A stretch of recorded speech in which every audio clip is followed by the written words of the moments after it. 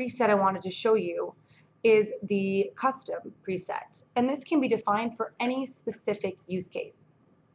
So for any of the presets, you can go to the Targeting tab and select the required geo-targeting by selecting the country, state, city resolution, ISP, or ASN, or carrier.